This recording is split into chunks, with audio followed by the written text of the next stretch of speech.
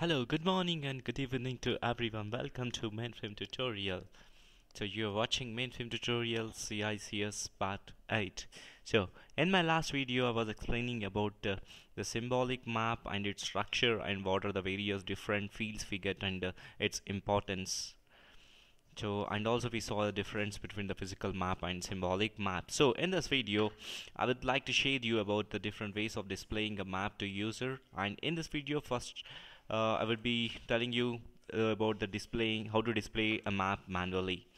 Okay let's go ahead and start. So before I start of telling you how to display a map uh, we should know one important thing but is nothing what about when you should know the difference between the transaction and task and everything. So here I here it is. I will take an example of an ATM normally we go to an ATM the first what what is the first step we do?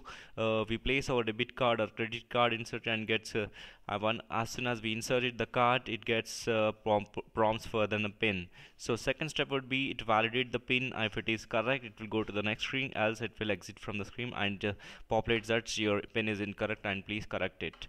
So the third step would be like assume uh, your pin is correct and it went to the next screen having different options like uh, you'll be centering a balance inquiry saving current or withdrawal.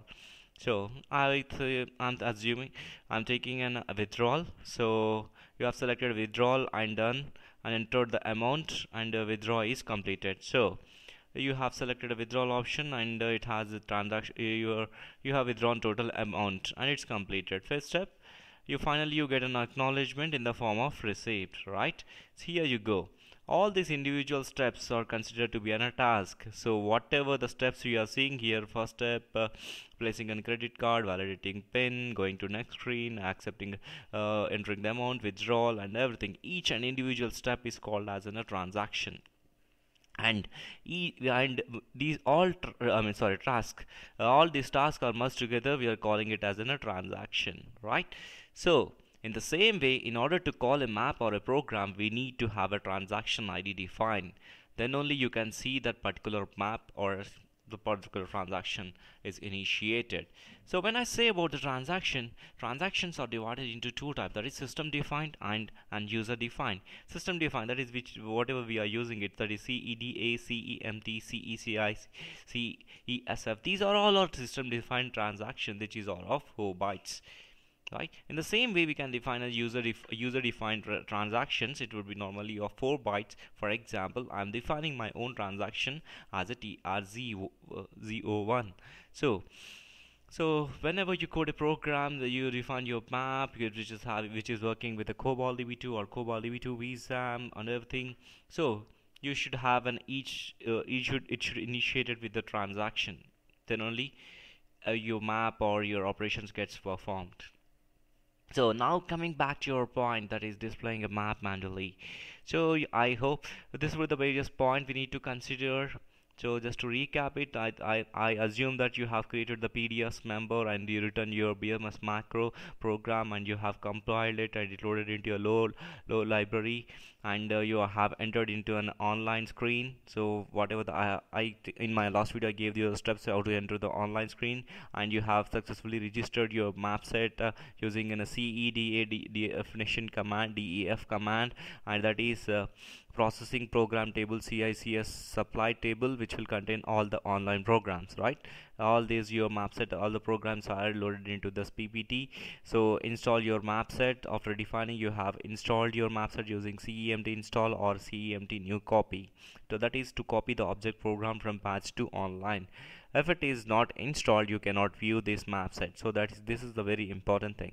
So initiate the transaction that is using the now the finally you need to initiate the transaction. That is you need to you want to send the map to the screen. So you have to send it with the CECI sorry this is CECI CECI send a map map name and the map set name. Finally that's it. You in this way you can define you can send your map. This is this is the manual way of displaying your map. The final step is you want it if you want to sign off you want to log off from the CICS screen just you give CESF and log off. So that's it. Uh, that's it. This is the way you uh, have to display you would be displaying your map manually. Before before we uh, do any operations with the program or something uh, you you might be having a set of different maps. You need to code it. You are instead you have you're, you're trying to define 10 maps. So first uh, you will be defining uh, and you'll be following all these steps and you would be testing it initially. Initially you have to test it whether all the all the fields or the positions are particularly displaying on the screen exactly in 24 by 80 columns and everything.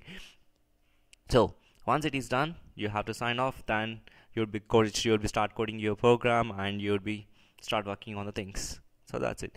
So as I said in my last video I will be giving you differentiate uh, tell you about the different tables used online. So you're saying that you're defining map you're installing map you're initiating the transactions and uh, blah blah blah. So how is this? How is the process happening internally in the background of the CICS yes that's that's what here it is. So I can I can say the important table table tables are PCT table PPT FCT and RCT so these are the very important tables while working on this. So what is PCT PCT is nothing but program control table. It will contain all the transaction ID and its corresponding program.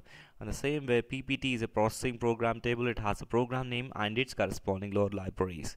FCT file control table. It has a logical and physical file names it is mainly when we do, when we work with the files when you're using your files in your program. So all the uh, it has to be registered over here. All the I mean physical and logical file name should be registered in this file control table. So resource control table RCT it contains the program name its corresponding plan name. Whenever you're working in the R DB2 program so RCT table is uh, it should the plan should be registered the plan and the program name should be registered in this RCT right?